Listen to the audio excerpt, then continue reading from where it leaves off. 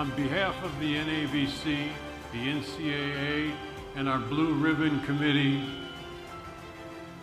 with these medals, we are going to formally welcome you into the National Collegiate Basketball Hall of Fame. The pride of the Providence Friars, Ernie DiGregorio. Ernie D.